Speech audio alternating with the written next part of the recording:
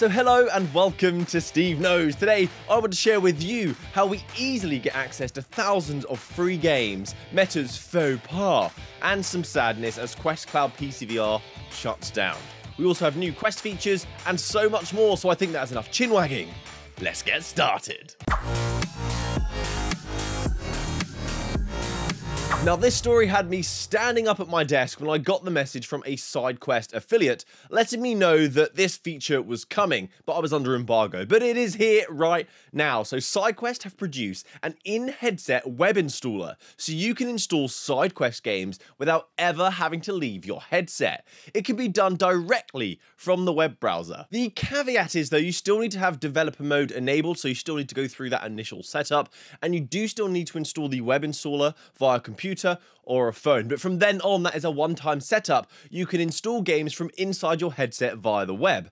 This will also allow you to execute the ADB commands that SideQuest have available that do things like boost your in-game visuals, increase your video capture settings. This is all thanks to an API feature called Web USB that enables a USB interface to devices from a web browser so it can mimic being plugged into a computer, for example, putting it simply, and you can install games that way. Although I could not actually get this working initially through the SideQuest application, so if you're doing this setup, please install it via the web browser instead. So if you find yourself like me thinking, why is this not working?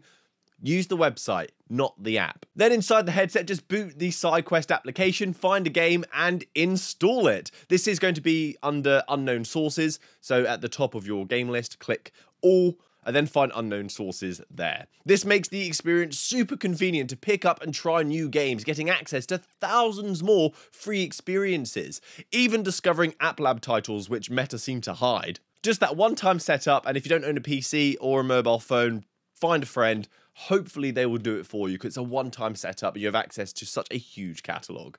And speaking of free, since it's the weekend, you may be looking for something else to play, and you're in luck as Thief Simulator is offering free access to the game's prologue via AppLab.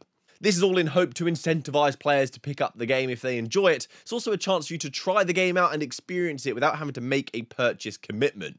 I would love to see more of this in VR because what you see on a flat screen does not translate to what it's like inside a headset. So I think this is great. And the prologue is where you have to escape from a prison before you begin your side hustling of robbing the Greenview neighborhood. So out of prison, trying to get back in. I'll link it down below because you don't have to search for it through AppLab that way. You can just click the link and enjoy. So on Tuesday, Meta put on their blog some version 63 features, just a couple. There is something being introduced called Quest Cash, which is a credit system that you can store and use to purchase games and gifts. So instead of using money to purchase things, you use your money to buy the store credits and use the credits to purchase things because having an extra step in a process is always fun.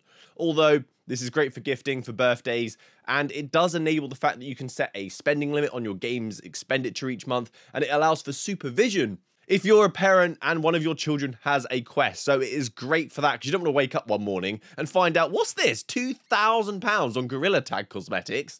What? And what's even crazier is you can actually request cash from others. But please be aware of scams because now people can request currency.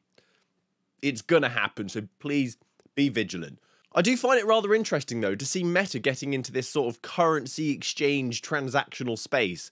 Very curious. Is this the first step into something larger? I don't know. I could be thinking too much into it. So that is launching this month, and we also have exclusive features for the Quest 2 and the Quest Pro, not the Quest 3. You can now lie down.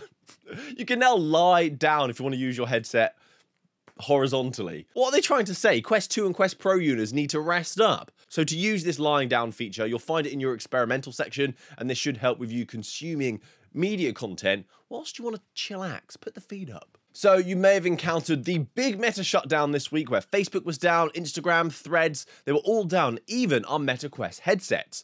They started prompting users that something went wrong and you couldn't boot up your application. It's not really a great sign that my headset isn't working offline because you could build a house with quests at this point they were essentially bricks Although, Meta's headsets don't require a constant internet connection to the server to work, so what was actually going on here? Well, David Heaney commented, and BozTank actually confirmed that it wasn't in fact the headset required a connection to the server, but the headset was told by the server to log out. Ruben, one of the VPs, also confirmed this behavior. This was a bug, it was a super rare thing to happen, so you may have found when you picked up your headset, it asked you to log in again and put in a code to confirm it was actually you. So that's what was happening. But a really sad story now. Although that was bad news, this is sad news. Another fist shaking moment to Meta's policies and management of third parties. So Plutosphere is shutting down now because Meta maintains their ban on cloud VR streaming services on Quest.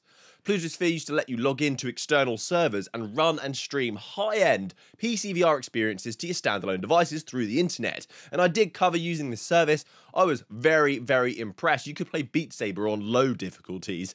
If you found a close enough data center, you'd experience minimal latency and could enjoy these high-end experiences at a bargain price. It had this model where you would buy tokens and you would spend those tokens for playtime.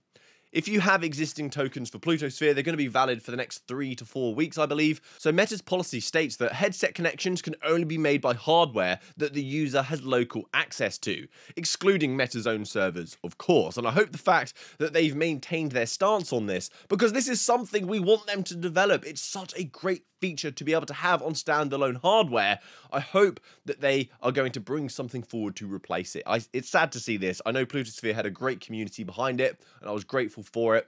VR's in quite a funny place right now. It's a topic for another video, but it's just bubbling in my chest. There's just so much going on and so much mm. so some quick fire news stories now, some interesting things that I found this week. And the first is Horizon Worlds is dropping a new map that is an official CBS survival world. I started watching the show in the UK recently, and so I can finally relate to the many years of folk in the States talking about it. It is celebrating its 46th season.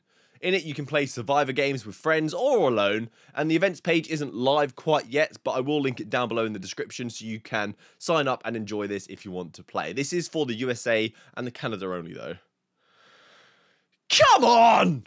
There was also this story that was about a game called Tiny Archers, which isn't what caught my eye. It was something that was within this report, and it's the Smart Bow accessory. I thought archery is a huge classic VR mechanic, but why have I never seen a VR accessory for archery? Do you guys know of any? I could just be being stupid, but you don't come across them that often.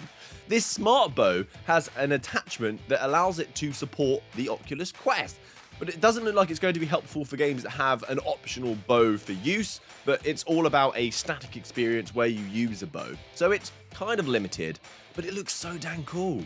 And this is your reminder, super important, to ensure you have migrated your old Oculus accounts to the new Meta accounts before March the 29th, because you will lose everything if you have not done this. The purchases that you've made, your game saves, everything will be removed if you do not migrate. So please confirm, just double check that you have done this. I'll link the document on how to do this down below in the description because that would just be absolute hell and it's not going to inspire people to jump back into VR once you've lost it all.